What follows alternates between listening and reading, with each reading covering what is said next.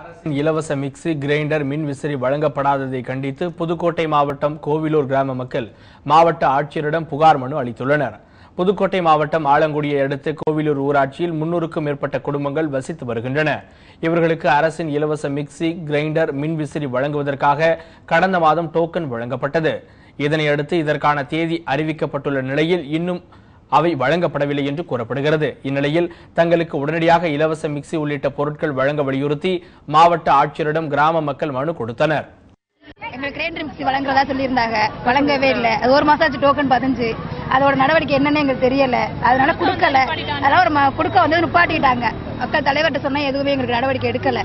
அதனால அங்க வந்து கலெக்டர் ஆசிரியர் மனு கொடுக்கறதுக்காக நாங்க வந்திருக்கோம். பக்கத்து ஊர்ல உதய கோயிலூர் பஞ்சாயத்துக்கு பாதி ஊருக்கு வரலைங்கிறதுக்காக எங்களுக்கு கொடுக்க வந்ததை தேக்கி வச்சிருக்காங்க.